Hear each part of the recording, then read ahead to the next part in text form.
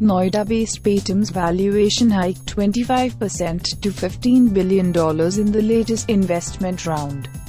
Founder and CEO Vijay Shekhar Sharma said.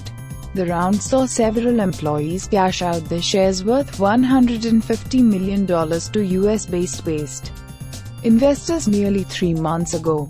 Sharma added. PAYTM was valued at $12 billion when Warren Buffett-controlled Berkshire Hathaway invested in undisclosed amount last year. Subscribe to the channel for more news.